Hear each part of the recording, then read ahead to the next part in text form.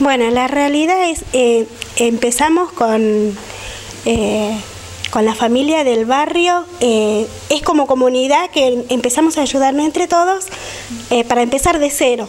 y, y, bueno, siempre en, en, este lugar, por ejemplo, hay mucha necesidad, ¿no? porque sabemos que lo que vivimos acá somos humildes.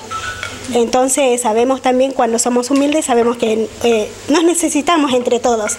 Entonces nació en nuestro corazón ayudarnos a la gente más humilde, igual a la gente más humilde que necesitan eh, de, nuestro apoyo, porque como, eh, como dijo el Padre recién, que como Jesús nos enseñó, cuando ves a alguien que nos necesita, estrechar nuestras manos a todos.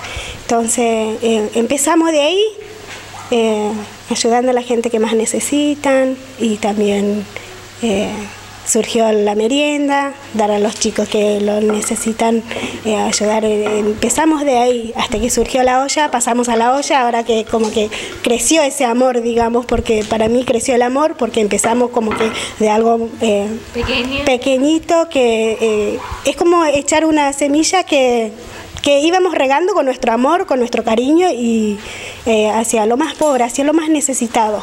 Entonces empezamos de ahí y es muy, muy hermoso y la verdad que tenemos también nuestra mano derecha que es el Padre que siempre estuvo sosteniéndonos, apoyándonos en todos, siempre nos escuchó cuando más necesitábamos, eh, siempre comentando, Él siempre estuvo a nuestro lado y apoyándonos en todos, en buenos y en malos momentos que, que eso para nosotros es muy, muy lindo porque es un gesto que, eh, que Él nos enseñó y que también nosotros eh, eso sembramos a los demás. Ustedes comienzan y Él las acompaña. Exactamente, sí, nosotros comenzamos y, Él nos acompaña a, eh, a seguir este camino, este buen camino, porque yo diría buen camino, porque cuando hace algo bueno de corazón y ayudando a lo más humilde es, es algo muy hermoso. ¿Cuántas horas por día dedican para poder generar el plato de comida que las personas vienen a buscar.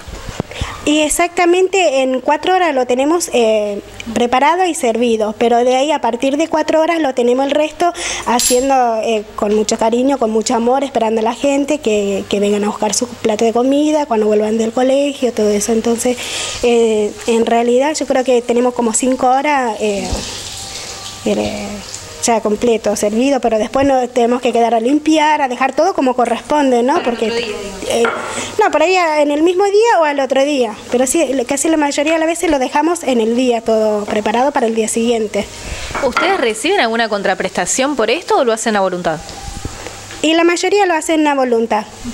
Eh, es como eh, decía, como Jesús nos enseñó que también hacemos eh, de corazón esto, también eh, nos nace de dentro ayudar a los demás.